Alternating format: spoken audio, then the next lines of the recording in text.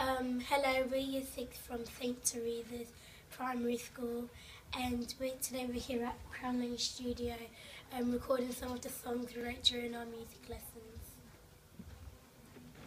The studio was more than I thought. I thought that there was just going to be one room with a mic in the middle uh, and as you sing people watch you. Our song is called From a Stream to a Mighty River and there's five of us in a group.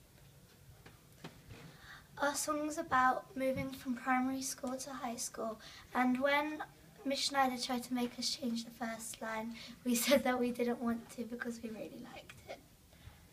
When we were creating our songs, um, we wanted to change the title millions of different times because we couldn't decide on which one was right.